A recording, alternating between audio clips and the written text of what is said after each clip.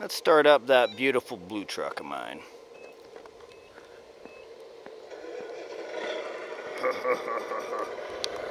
now he is a heavy duty puller.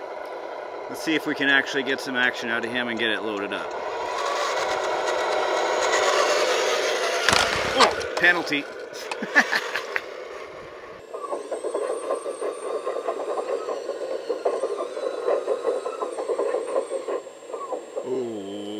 look at the clearance here. Even if I line it up properly, I'm not off to the side, I'm still gonna have barely enough. Let's see here, I'll just line it up right.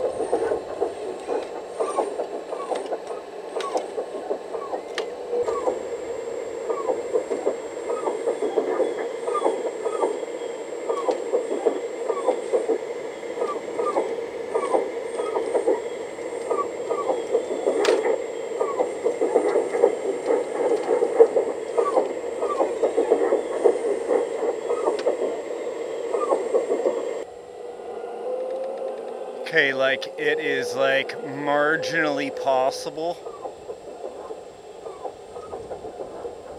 But I don't think the Department of Transportation is going to let this go. there we go. Such, such a beautiful sight though. Look at this. Oh.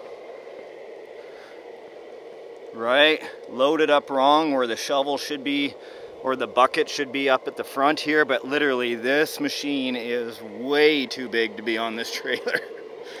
Look at that. Barely on either side. I think we should even attempt to drive with it. Okay, I have to drive with uh, stick radio. Let's see here.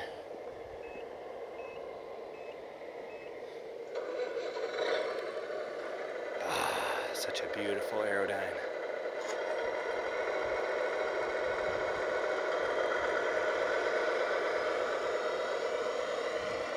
If you guys haven't seen a game show I used to do called Loading Kings and Loading Wars, go and check that out.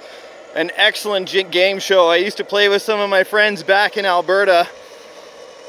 Well, I suggest you only play it with good friends. like I was. The rules can be a little harsh.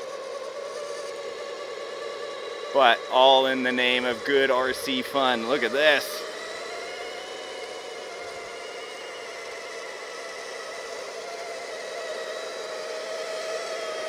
That motor is working hard already. It's such a heavy machine.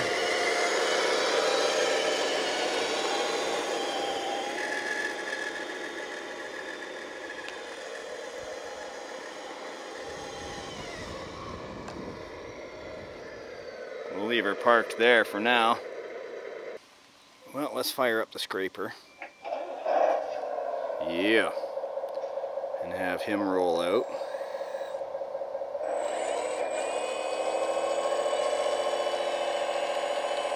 Slow and torquey, this monster. That's all it is, is torque.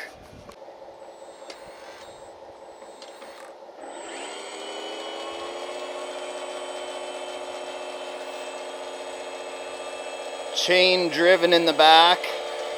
You heard that right? You want to see? Look at it, if you haven't checked this out before, this will fascinate you. This is one of my favorite RCs that I have brushless power. Look at that. Chain drive on that back axle just to give it that extra oomph. This is also all hydraulic and electric. Let's go ahead and back them up here.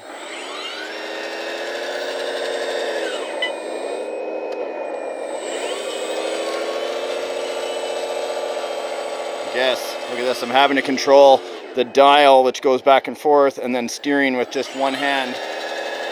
Hence why the driving is not so good today.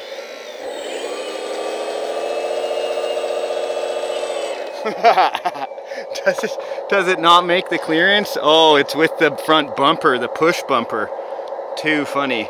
I was going to show you that this machine is probably too long to even fit on that trailer. I haven't tried yet, but who knows? Maybe we can't even get it on because of the push bumper. Yep, right there, boom.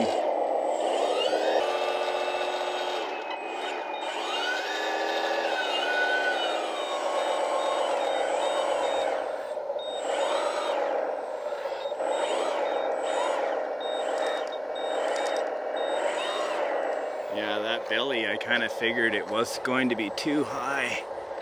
Well, no trailer for this one. Look at this, the belly is too fat to even load up on here. Insane. Let's take it over to the sand pit.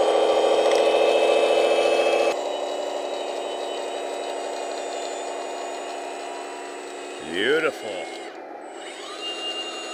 Let's go ahead and drop this belly down and take our first scrape in the sand here. That's good. Right about there. We'll roll her forward and see if we can get a nice flat surface. First time I've used this machine. Here we go. Belly up. Now I'm aware that you're supposed to have another scraper or at least a dozer with you, but I figured I'd give it a try in the sand at least.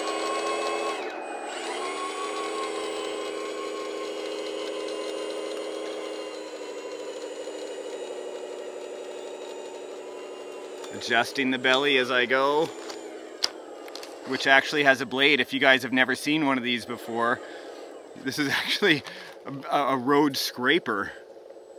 Just gonna go ahead and raise the belly there. Looks like I dug myself a hole. That's all right. Four-wheel drive this machine, lock differentials. Actually, for its first pass, that isn't too bad. I'm gonna go ahead and give it another one. Drop it down just a bit here. Full speed ahead.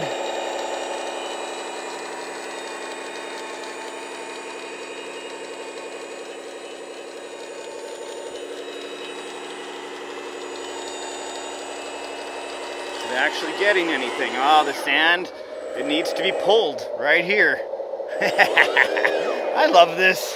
I'm gonna need to get somebody over here to give me a hand with uh, with the actual dozer. see if I can raise out of here. There we go, let's try it again. Now I know I'm not a rolling professional here and that I'm not doing the proper job without a dozer to pull or an extra scraper. But what I'm going to try to do is compact some of this soil here. Might as well start this up here.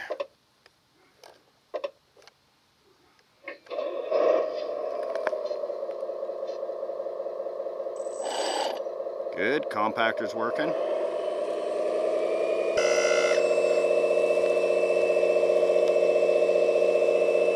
Super torquey here. We'll see if it's able to handle the sand.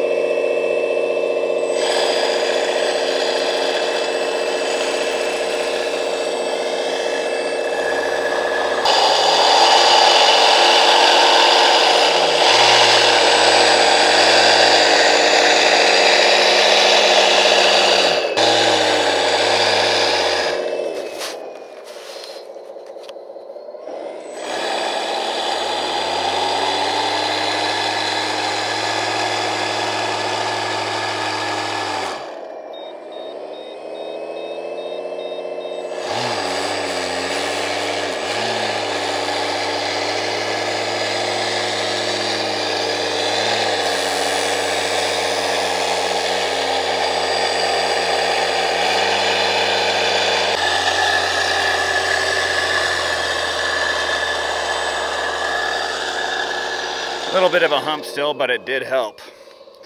All right, we'll shut that down. It's probably not near enough, but as long as we can get this to get over that hump. There we are. Wait, you're just a grown dude playing in a sandbox? Yes, I am. You must be asking where my kid and my wife are. Grocery shopping at the moment. Thank you for asking.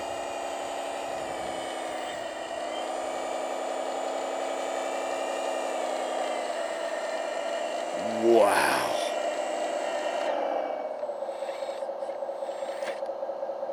I have no choice.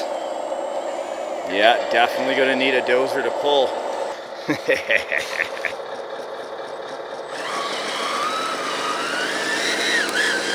Bring in the D9.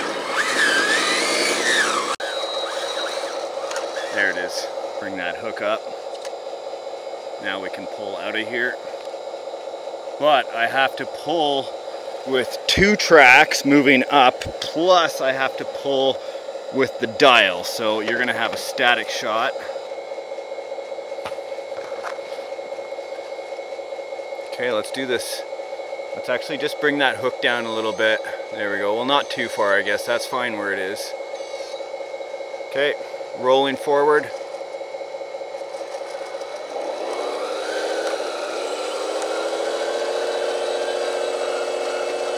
Beautiful. That's how it's done, folks, right? So then I can go ahead and lower that front nose clip. Can get rid of the, the hook itself and get out of there.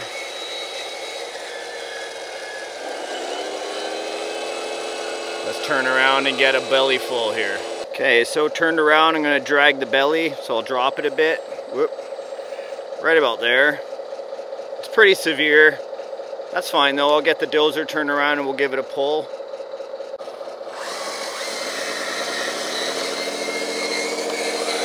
This dozer weighs 63 pounds.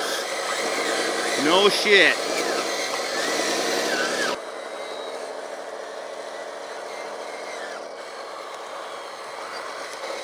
Okay, and let's get that hook down. Just back straight into it here. There it is, hook up. Literally. Good. Now we're in position. Make sure the blade's up all the way. I don't want nothing hooking me up while I'm trying to pull. Okay, let's do this.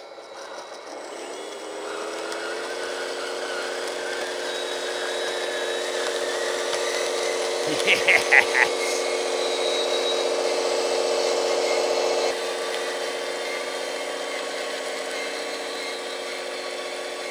Oh my God, it's working. Look at that scrape, it's perfect. And let's go check the belly. I just closed it up.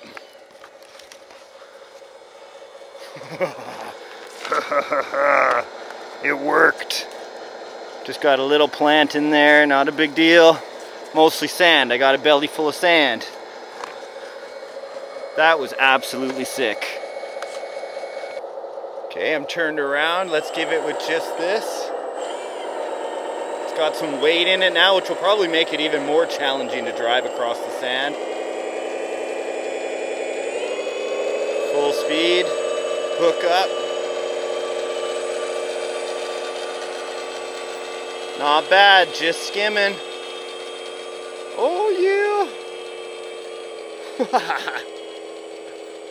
Beautiful. Well, it's all fine that it can collect stuff in the in the uh, belly here, but this actually has an ejector wall right here, which works on two hydraulic rams. It'll actually push all this soil out.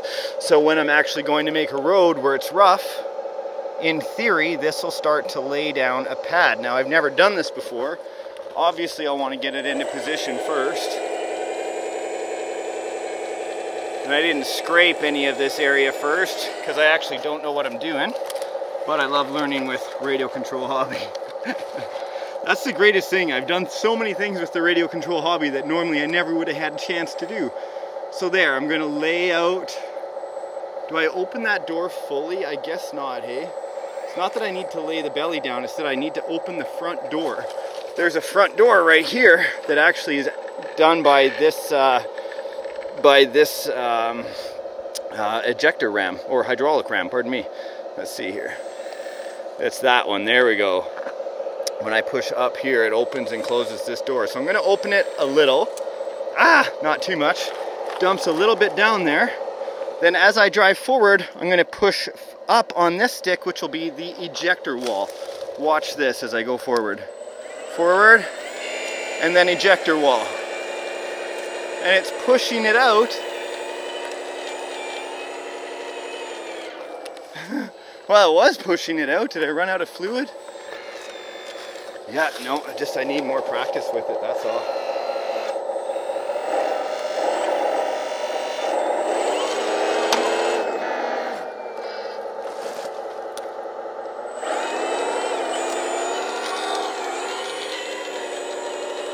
Dude, so if I would have had a full belly and of course a flatter surface, I would be able to start laying dirt down. But I literally have zero experience with this. So I'm gonna turn the camera off now because I'm into the unknown with my RC. But I think you guys got a fairly good grasp at what is there, yeah? Woo, what's up dudes? What a day. Hopefully you've enjoyed today's show, my friends. Did you leave me a like click? Did you like it? Did you dislike it? Does it really matter? Probably not. If you want to leave a comment, blow me. Uh, and we'll see you in the next episode of RC Adventures. Now get outside and have fun with RC. Clearly, you can see I am. Bye.